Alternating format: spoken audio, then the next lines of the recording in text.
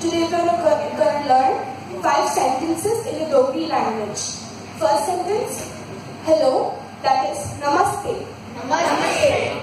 Second, what is your name? Tundana K A. तुम्हारा नाम के है My name is Lakshmi. मेरा नाम लक्ष्मी है. मेरा नाम लक्ष्मी है How are you? है? outside. Out, kick up.